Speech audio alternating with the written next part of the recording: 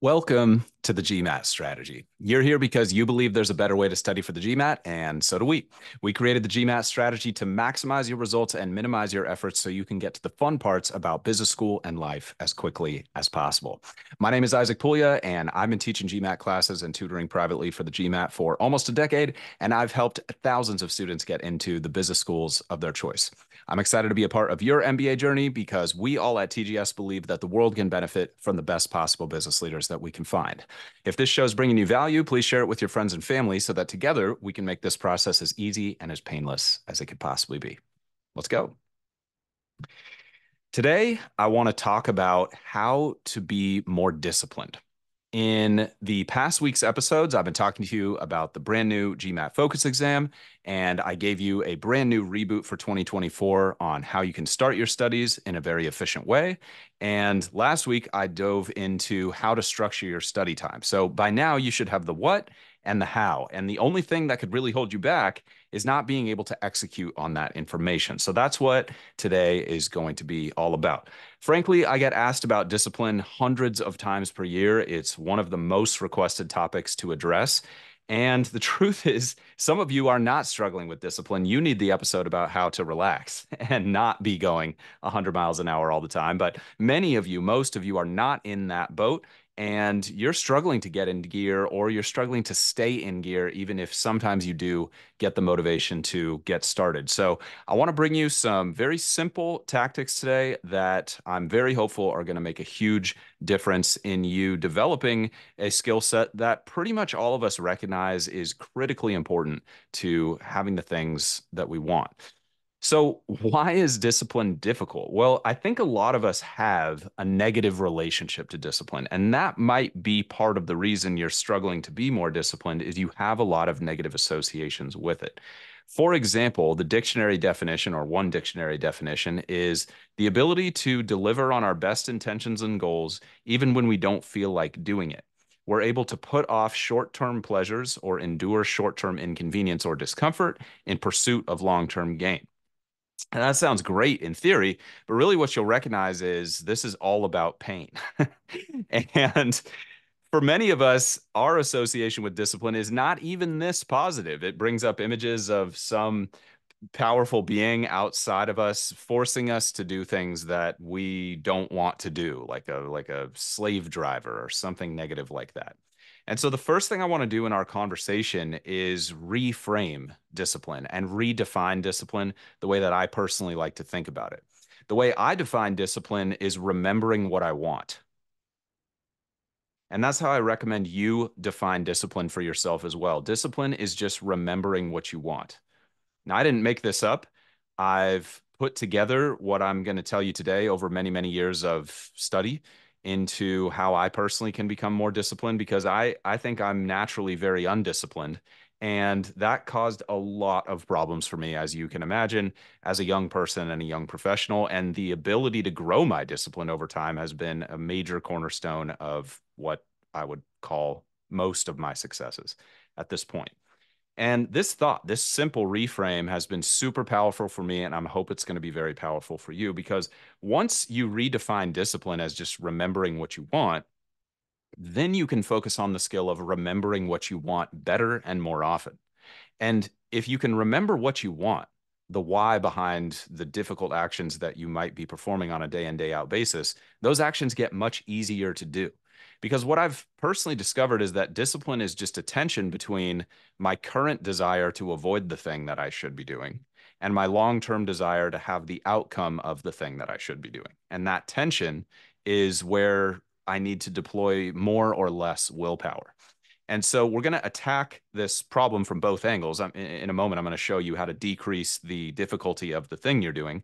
But I want to lead off by increasing your focus on the long term outcome because that's one of the biggest and fastest levers that you can pull to become more disciplined today.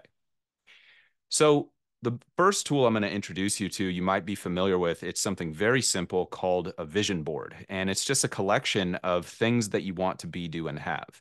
Now, the vision board concept, I think, has been really dragged through the mud with this whole concept of magically manifesting things. And I, I'm not here to judge whether that magical type of manifestation either works or doesn't work, whether you should do it or not do it, it's really not my concern.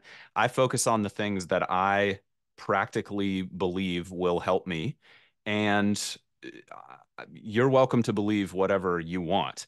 I'm talking about manifesting I'm not even talking about manifesting, but if I were to talk about it, I would be talking about it in the most literal sense, which is I performed an action and that action produced a desirable result. That that's that's the thing that we're focusing on here today. And the vision board is just there to remind you of what you want.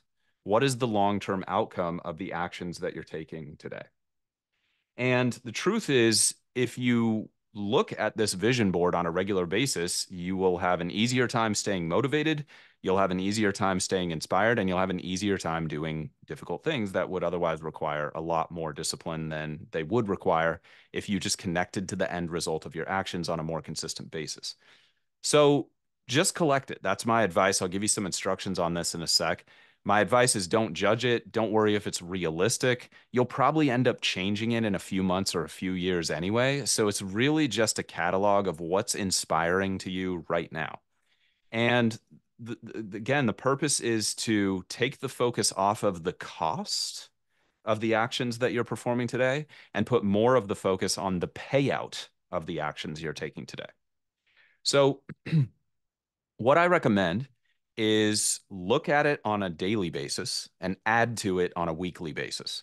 And what I like to do is set a little bit of time aside on my weekends or whenever you take days off and just spend maybe five to 10 minutes. It's not a significant time investment, just surfing the internet looking for things that sound exciting. It could be cool experiences, could be places I want to travel, it could be possessions I want to own, or the types of people I want to spend time with, the types of relationships that I want to develop and you're just looking for pictures that remind you of the feeling that you get when you think about having the things that you want. And don't worry if you're not super clear on what you want long term in your life.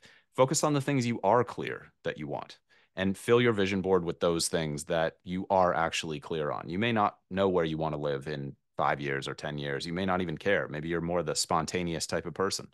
Okay, cool. Well, then what do you want? You probably want something either right now or in the near future. So focus on that and add that to your vision board. I just have a simple album on my phone and I just add to that album and uh, take things out as they're not inspiring to me anymore. And, and that's what I recommend you do. It's a very, very easy way to do it. But there are more involved ways you can make a vision board, like you can make them physically and and use clip outs from magazines or print things out from the internet and put it on your refrigerator or put it on a, in a place that you're more likely to see it more often. I mean, in my experience, that's all icing on the cake, and it's honestly not required to make this work for you. But if you're going to be struggling to look at it on a regular basis, then put it somewhere more prominent like that, and that'll probably really help you out. So, how does this help us?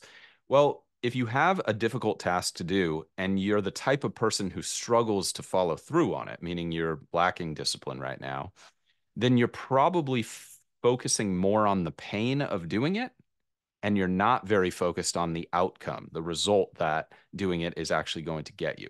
And so our goal is to start thinking less about that painful part of it and more about what does this difficult task produce? You want to think about it like an investor. If you're an investor and all you focus on is the cost of investments, then you're always going to buy the cheapest investment, irrespective of the return on capital. And as many of you who work in investing know, a lot of times the cheapest investments are the worst investments. Not always, obviously, but many times they are. And it's the, the willingness and ability to pay a higher price for an asset that actually produces these really fantastic returns over time. So, this is a way that we're doing that emotionally for ourselves. We're decreasing the emotional cost and we're increasing the emotional reward, which makes it an easier investment to make. Now, I've gotten to the place at certain times in my career where I was working on really difficult projects that I was really struggling to get momentum on. And I would look at my vision board when I sat down to do the project. Sometimes I had to remind myself that specifically, and it helped. It didn't completely make the pain disappear. And I'm not here talking to you about how to make your life completely pain free. That's not the purpose of this episode. I'm here to talk to you about how you can have more discipline, have more of the things that you want, and make it easier to do not necessarily delete any negative feelings from your life whatsoever. We could make the argument that that wouldn't even necessarily be a good thing, but we're not here to have philosophical debates. We're here to keep things focused on practical actions you can take. So, on a regular basis, if you're connecting to the why behind the challenging tasks that you have set out for yourself, it'll decrease the cost benefit ratio in favor of the benefits. So you're just remembering what you want more. And if we define discipline as just remembering what you want, then that will automatically make you more disciplined. So what we're focusing on there again is just building up the payout, not even decreasing the cost, but just building up the size of the payout relative to the cost, which shrinks the perception of the cost, which makes it more easier to take action. Now, the other side of this is shrinking the challenge of difficult tasks. And that's what I want to pivot to and focus on now. If you have questions about the vision board or what I'm recommending there, reach out anytime. So we reframe discipline. Now let's reframe resistance. Resistance is a catch all term that I'm going to use to describe the emotional wall that many of us come up against when we think about doing difficult or unpleasant tasks or tasks maybe that we're just not very good at yet and so they're not very pleasurable to do we feel the challenge and we feel like it hurts our ego it doesn't make us feel good about ourselves so when you feel that initial wave of i don't feel like doing this right now or that sounds uncomfortable or you start to feel the impulse of oh, i'll just do it tomorrow that's all resistance. That's that's what I, i'm using this term to define this sort of like imp, impersonal internal force that keeps us from taking action on things that are like rational to take action on, like working out on a regular basis or sticking to a diet. Those are very rational things to do, but they don't always feel emotionally good. And that's where resistance can come into play and really sabotage our results. So we want to start to reframe resistance, not as a bad thing, but as a good thing. Because if you think about the concept of resistance in general, that's actually a really important tool for how we improve ourselves. Resistance is how we get stronger. It's very difficult to get stronger without resistance. So many of you are into lifting weights. That's called resistance training. What are you doing? Well, you're Im- improving, increasing the capacity that your body has to deal with resistance. And you increase the resistance over time, and your body adapts in step. If you're more into running, for example, instead of lifting weights, then your body might resist running the fourth mile if you've been consistently running three miles a day for a long time. You might have an emotional resistance to that. You might feel physical resistance to that, like your body starts to get fatigued or you start to have difficulty maintaining your good running form. All of those are forms of resistance. And without those forms of resistance, it would be almost impossible to actually get stronger. So when you realize that resistance can be an ally, if you learn how to use it, that's when you can start to reframe resistance as a positive thing, which again decreases the emotional pain we feel when dealing with resistance. And here's a good analogy to help you understand this. If you're not feeling resistance in a workout, the workout is probably too easy and you're probably not growing.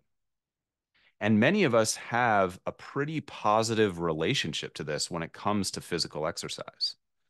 Does it feel good to push through that last rep or that last set in a difficult workout? Many of you might be addicted to that feeling.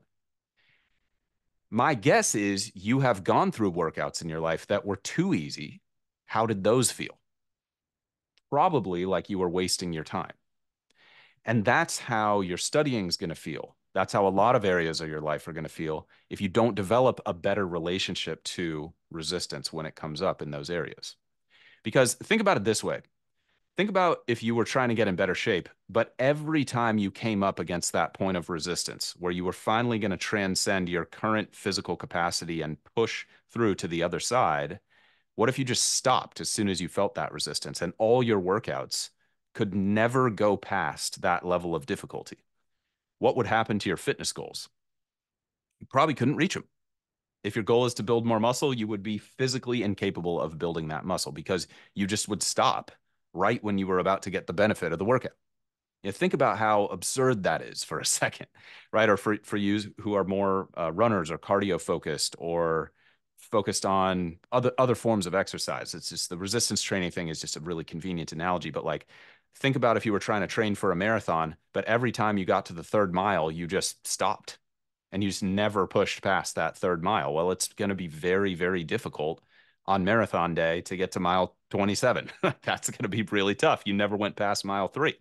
So it's your ability to confront and recognize resistance and reframe that resistance as a positive thing that makes you good at physical training. So I want you to think about that because most of us have a very positive relationship to confronting resistance in our physical workout routines, but we have a very negative relationship to confronting resistance when it comes to growing mentally and when it comes to growing emotionally. A lot of us have been conditioned to just stop as soon as things are frustrating, or stop as soon as things get hard intellectually, or stop when things get hard emotionally. Now, I do want to make a caveat here. None of this is medical or psychiatric advice. And if you're struggling emotionally, then please get professional help. I'm not qualified to give you that help. I'm just talking about confronting emotional resistance from the perspective of improving your physical performance and your ability to positively transcend negative emotions. Okay. I'm not talking about doing anything emotionally unhealthy. If if that's what you think I'm recommending, then you are wrong. And that is not at all what I'm recommending. And if you're doing something unhealthy, stop doing that immediately and get professional help and do the healthy thing. I'm talking about the healthy level of I feel emotionally bad when I think about sticking to my workout routine today and I don't listen to that negative emotion and I go do the workout and I feel great about it and it's 100% the healthy thing to do. That's what I am talking to you about right now, okay? That type of emotional resistance.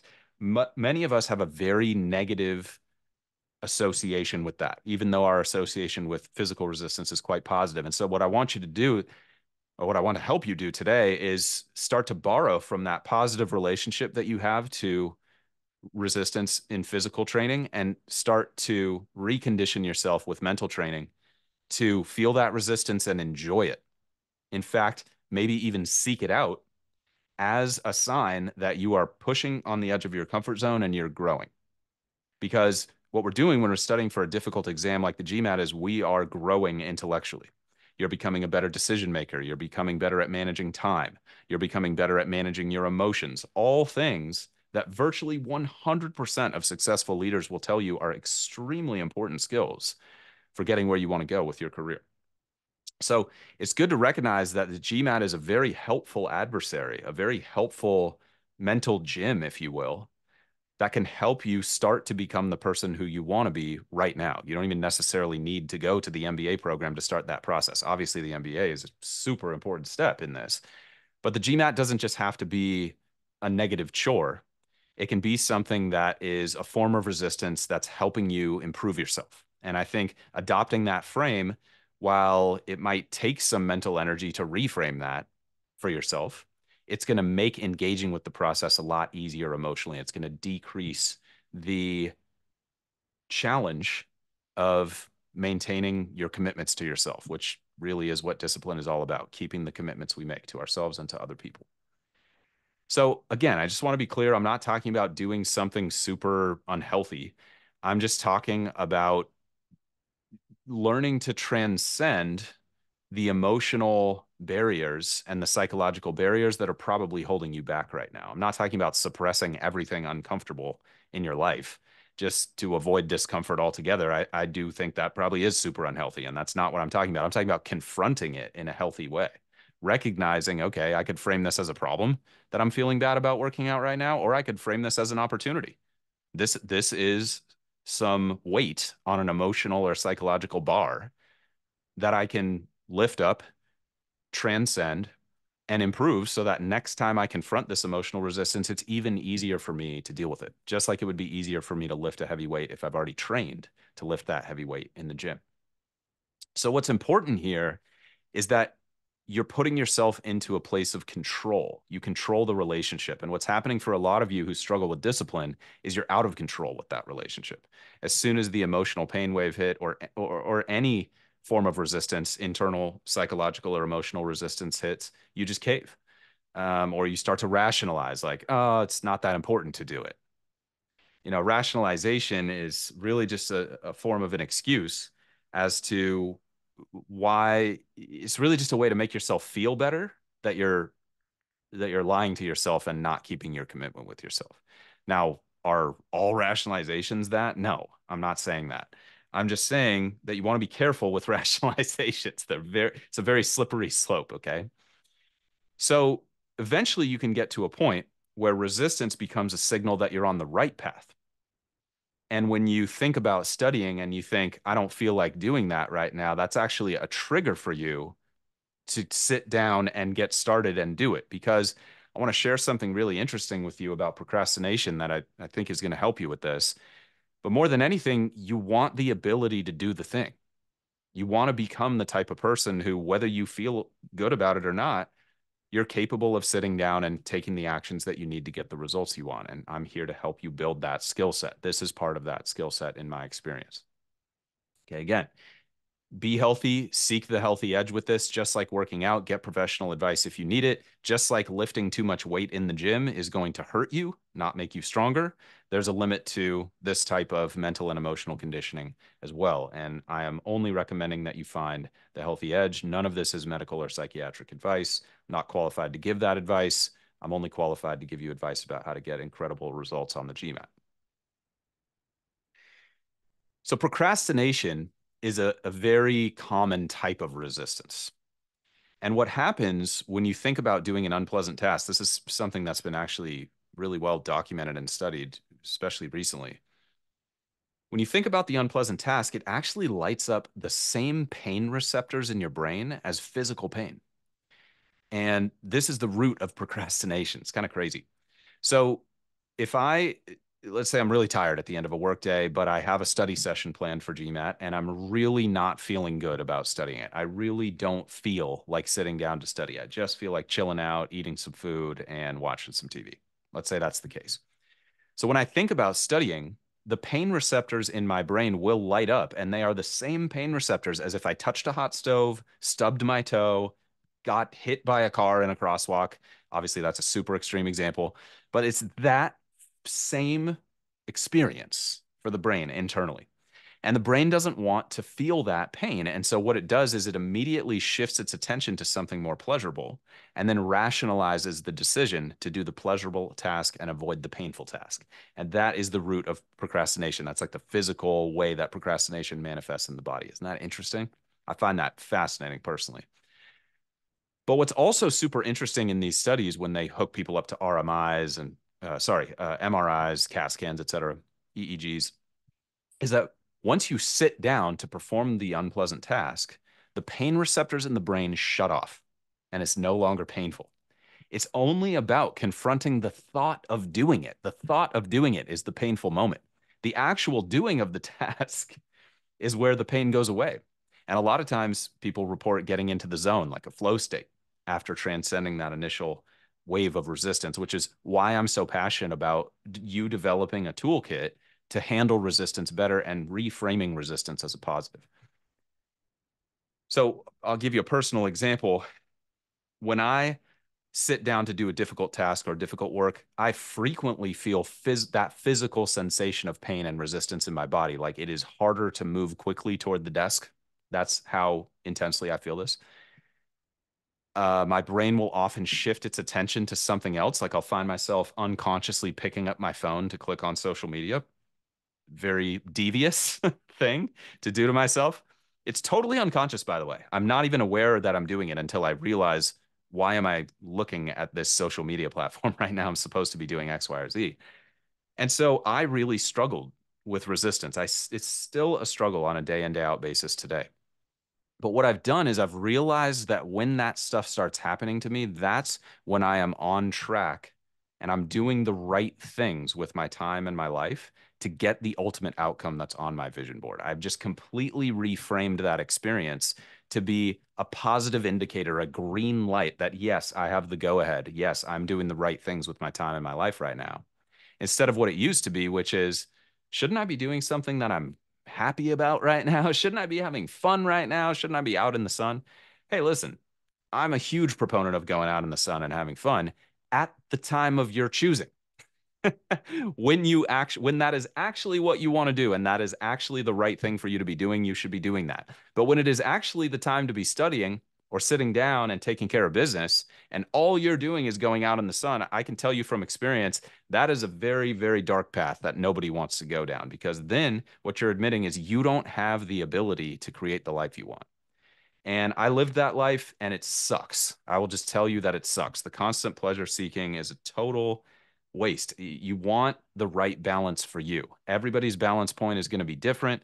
My balance point is pretty hardcore. I actually really like to work now and I've really embraced this. And I still get out and have a ton of fun. I'm one of the happiest people that I know.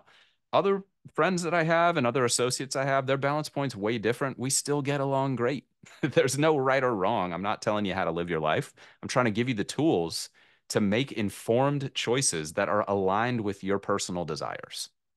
That really is my role in your life here. I'm trying to help you get a great result on this thing so that you can have the things that you want from an MBA.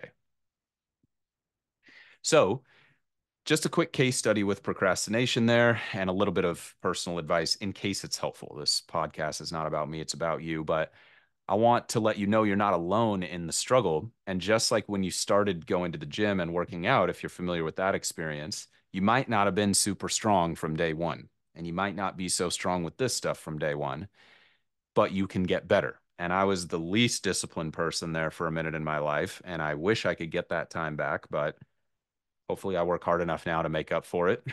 Um, and if any of you have a time machine, I'm I'm I will be an early adopter. but until we get something like that going, this is the next best thing. Best thing is uh, is start becoming more disciplined today. What's that saying? The best time to plant a tree is 10 years ago, and the second best time is today. So let's let's be those people. So, what's the tool for overcoming procrastination and helping you become better at transcending resistance? Well, I talked about the mental reframe, but that's not going to be enough for some of you, and that's totally fine. It's just a tool, and you can take from today what's going to be most helpful for you and discard anything else. So, one of the most valuable tools that has been research backed to help with procrastination is called a Pomodoro. And many of you are going to be very familiar with the Pomodoro technique. Many of you probably use it on a day in, day out basis. I'm a huge user and proponent of the Pomodoro, and I use it every day, many, many, many times a day in, in my work blocks. And I'll have probably eight to 16 work blocks, depending on how busy the day is for me. And instead of just going 100% end to end, I'll usually set up a period of time that I know I can focus, and then I'll give myself a little bit of downtime before the next work block begins. And that's the basic structure of the Pomodoro. The basic structure of the Pomodoro is 20 minutes of focused effort where you put everything on do not disturb, silent, can't be bothered, block out all the potential distractions, focus on your task, and then you give yourself five to 10 minutes of a reward. And it could be anything that you want to reward time on social media, texting your buddies, reading a fun book, engaging with a creative project you like, having a quick snack. Could be all the above at different points in your day.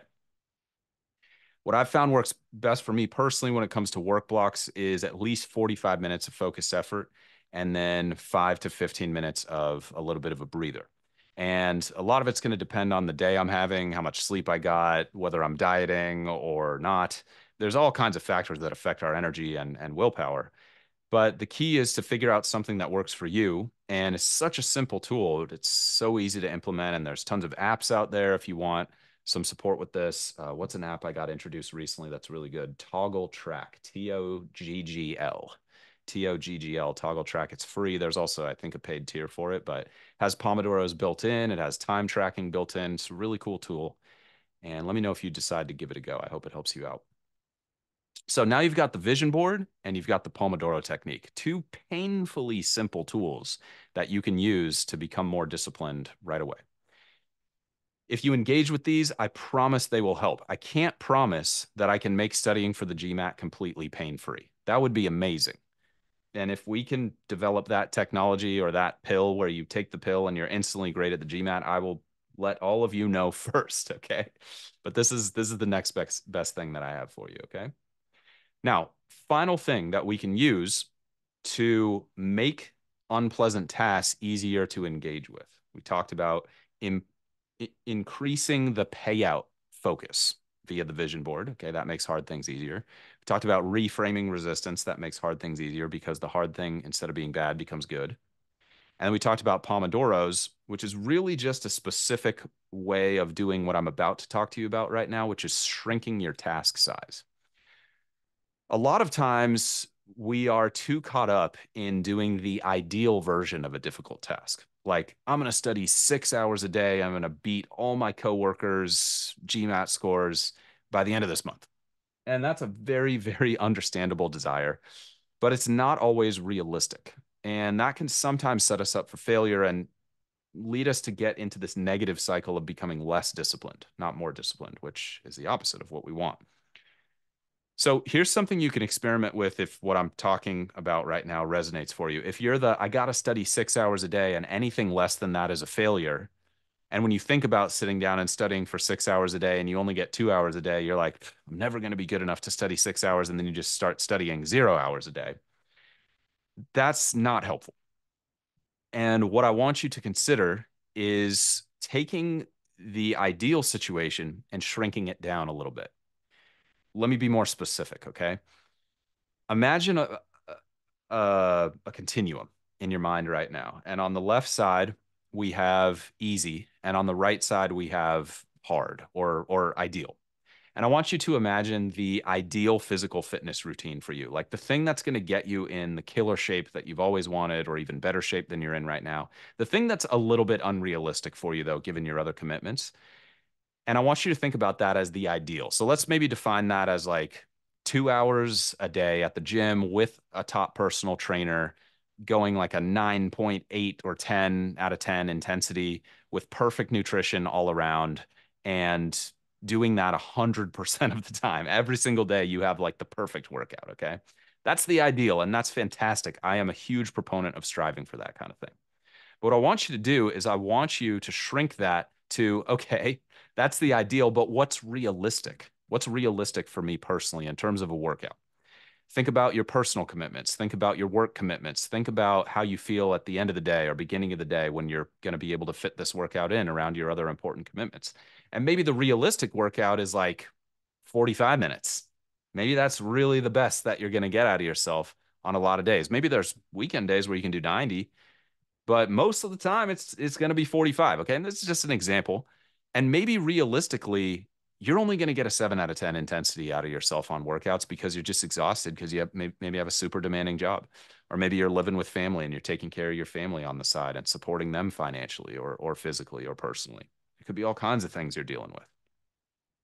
And maybe the best you're going to get is moderate nutrition. Maybe maybe you're financially constrained in terms of your nutrition. Maybe you are time constrained in terms of your nutrition and you, you have to eat the meals provided at work, even though they're just okay for you, because you got to save money or you got to save time or you, you just haven't gone to the grocery store in six months because you need to make sure that you're taking care of your brother who's sick I don't know. I don't know what kind of situations you're all dealing with, but these are just examples of what would prevent us from doing the ideal workout and force us into the realistic workout. Okay, so once you've established what's realistic for you in terms of the workout, then I want you to shrink it down to easy. So, what is the thing that you could totally do, no questions asked, where you would almost laugh at it and be like, 45 minutes is realistic. I could do 30 minutes a day, no problem. Like I probably waste 30 minutes a day on my phone right now. Are you kidding? I could get 30 minutes a day in the gym. That's that's nothing. And uh, I could do a six out of 10 intensity without even breaking a sweat. Like it'd be no big deal. I'm just kind of going through the motions anyway. And I could definitely eat some bad stuff. Like I could definitely have some uh, some unhealthy fast food that just sounds really good and is cheap. And um, you know that would be the easy version of the workout. So I want you to imagine this if you're if you're the type of person who struggles with a workout or just as an example of shrinking the task size. So, what you're going to do if it's a task you struggle with is you're going to map out the ideal, you're going to map out what's realistic, and then you're going to map out what's easy. And you're going to do the easy version of it three days in a row to just get some momentum. And what that does is it completely deletes the emotional pain wave that you might be feeling because some of you might try to reframe it and it's just not going to work for you. And I respect that. That's that's totally fine. Honestly, that was me when I first started engaging with all this stuff. I was a little baby. Call it what it is. Not trying to insult you. I'm sorry if I did, but I'm just telling you what I was. which was a little baby about it. And fortunately, I matured. but back to the point. Let's say we transition to the study world. My guess, if you're still listening to this, is you might struggle to stay disciplined with your studies. And part of that might be you are trying to engage with the ideal study plan instead of engaging with the realistic study plan. Some of you might be engaging with the realistic study plan and realize it's still a struggle for you. So if that's you, what I want you to do is I want you to map out what is the easy study plan. What's the amount of studying that you can easily, no questions asked, without breaking a sweat, engage with for three days in a row? Maybe it's three minutes of studying. Maybe it is really that bad for you right now. What I want you to do is I want you to commit to studying three minutes a day for three days in a row. After you have done the easy way three days in a row, you expand it by 20%.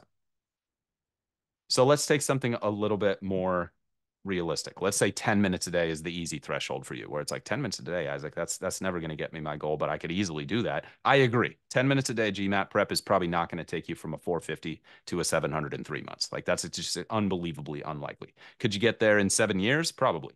But my guess is you want it to go faster than that. Okay.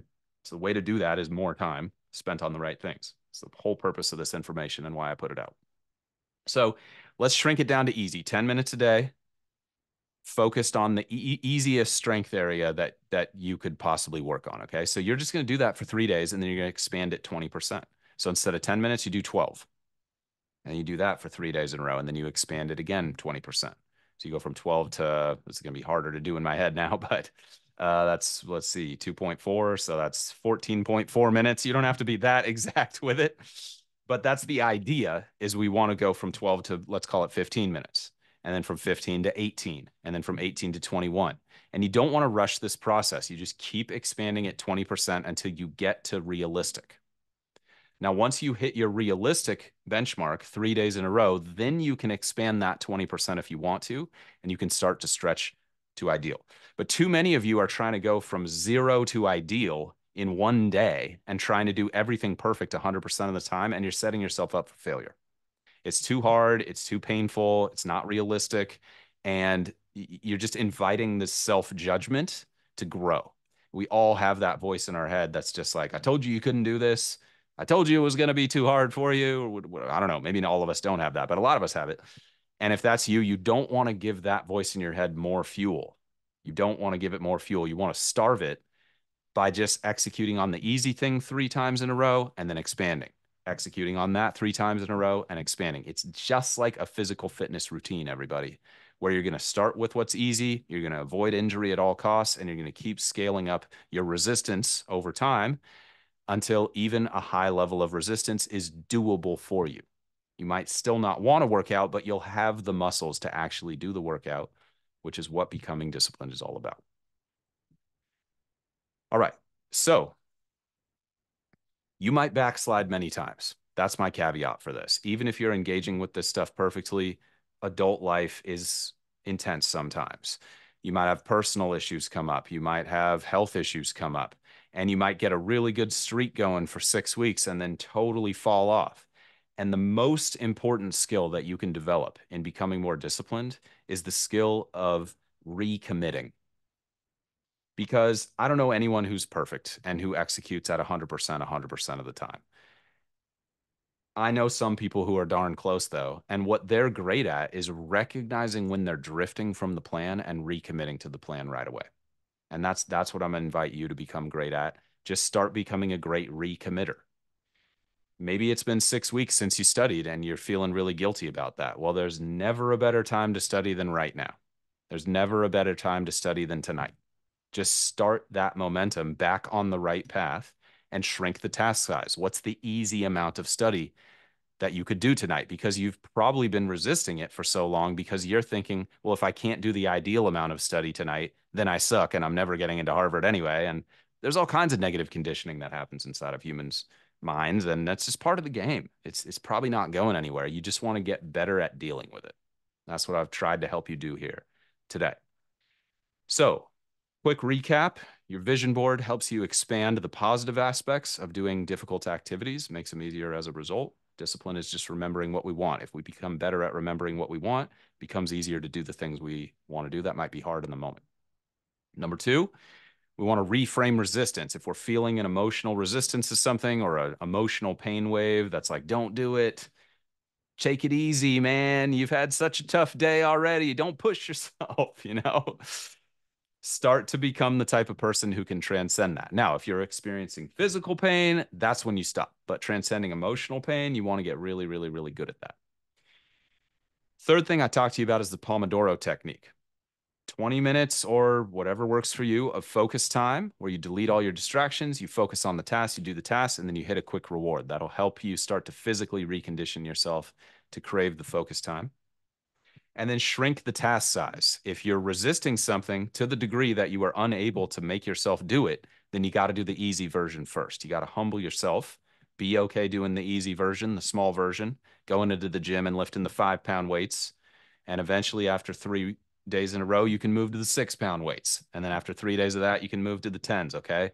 But I don't want you going zero to 450 pounds because that's probably going to really jack you up. And that's the opposite of what we want to do here. We want to build ourselves. That requires the right balance of compassion and being a little hard on ourselves sometimes and talking to ourselves in a way that is respectful. Because when you're telling yourself that you're capable of doing the things that you want to do, that is you respecting your abilities. And when you tell yourself you're not capable of doing it, that's disrespecting yourself. And that's going to make everything a lot harder. Just focus on the thing you can do, get some momentum in the positive direction, and then expand that 20% after three days in a row. And if you fall off, start it easy again, build your way right back up. It's that simple. Yeah, this is a deep topic. There's a lot more that I could share with you. I've been on this path for many, many, many, many decades and I'm probably not getting off it anytime soon, everybody. I'm trying to build my discipline every single day. And if you have some tools for me, I'm wide open, man. If you want more advanced tactics, let me know.